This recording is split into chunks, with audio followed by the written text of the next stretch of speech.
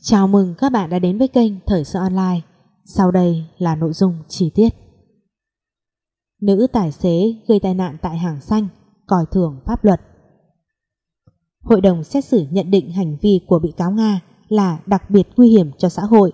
Bị cáo biết rõ hậu quả khi lái xe có rượu bia nhưng vẫn lái xe gây tai nạn. Hành vi của bị cáo thể hiện sự coi thường pháp luật. Ngày 17 tháng 6, Tòa án nhân dân quận Bình Thạnh thành phố Hồ Chí Minh mở phiên tòa xét xử và tuyên phạt bị cáo Nguyễn Thị Nga sinh năm 1972 3 năm 6 tháng tù về tội vi phạm quy định về tham gia giao thông đường bộ. Theo đại diện Viện Kiểm sát Nhân dân quận Bình Thạnh, căn cứ vào hồ sơ vụ án và diễn biến tại phiên tòa có đủ căn cứ xác định hành vi của bị cáo như cáo trạng truy tố. Bản thân bị cáo là người đã trưởng thành, có đầy đủ năng lực nhận thức hành vi dân sự, biết rõ việc có rượu bia thì không được điều khiển phương tiện khi tham gia giao thông. Tuy nhiên, bị cáo cố tình vi phạm, bất chấp pháp luật, uống rượu bia nhưng vẫn điều khiển phương tiện, gây tai nạn làm một người phụ nữ tử vong tại chỗ, 5 người khác bị thương, 5 xe máy và hai ô tô bị hư hỏng nặng. Bị cáo gây tai nạn khi không có giấy phép lái xe, khi say xỉn là tình tiết tăng nặng. Hành vi của bị cáo là đặc biệt nguy hiểm cho xã hội, đề nghị hội đồng xét xử nghiêm khắc xử bị cáo để có đủ sức giáo dục gian đe chung. Trong quá trình điều tra và tại phiên tòa, bị cáo thành khẩn khai báo. Hiện nay, gia đình bị cáo đang gặp khó khăn khi chồng là người nước ngoài không rõ tiếng Việt và bị bệnh nặng, các con của bị cáo đang còn nhỏ.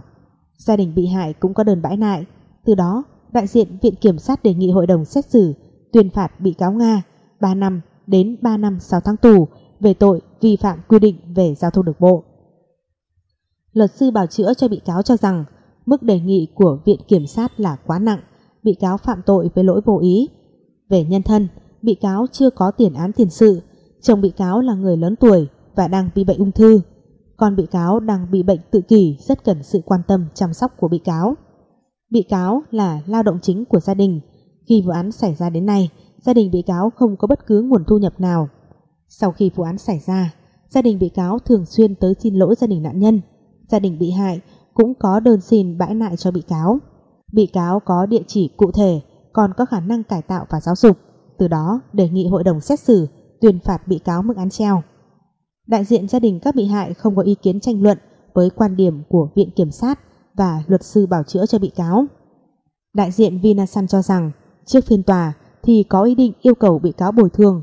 Tuy nhiên, căn cứ diễn biến tại phiên tòa thấy hoàn cảnh bị cáo khó khăn nên không yêu cầu bồi thường về dân sự. Về hình sự đại diện Vinasun, xin hội đồng xem xét giảm nhẹ hình phạt. Được nói lời sau cùng, bị cáo Nga gửi lời xin lỗi tới gia đình bị hại. Bị cáo hứa sau khi ra tù sẽ tới tận nhà xin lỗi từng nạn nhân. Bị cáo cũng như khuyên mọi người không nên đi giày cao gót khi lái xe ô tô. Sau khi nghị án, hội đồng xét xử nhận định căn cứ vào hồ sơ vụ án có đủ căn cứ bị cáo Nga không có giấy phép lái xe có nồng độ cồn vượt quá quy định, gây tai nạn chết một người và bị thương nhiều người. Hành vi của bị cáo đã cấu thành tội vi phạm quy định giao thông đường bộ. Hành vi của bị cáo là đặc biệt nguy hiểm cho xã hội. Bị cáo bất chấp pháp luật tham gia giao thông khi không đủ điều kiện. Bị cáo biết rõ hậu quả khi lái xe có rượu bia nhưng vẫn lái xe gây tai nạn. Hành vi của bị cáo thể hiện sự coi thường pháp luật. Bị cáo có nhân thân tốt, thành khẩn khai báo, chưa có tiền án tiền sự, gia đình bị hại có đơn xin bãi nại, vì vậy hội đồng xét xử xem xét giảm nhẹ hình phạt cho bị cáo. Từ những nhận định trên, hội đồng xét xử tuyên phạt bị cáo Nguyễn Thị Nga mức án 3 năm 6 tháng tù về tội vi phạm quy định giao thông đường bộ. Các bạn nhớ đăng ký kênh Thời sự online để cập nhật những tin tức mới nhất.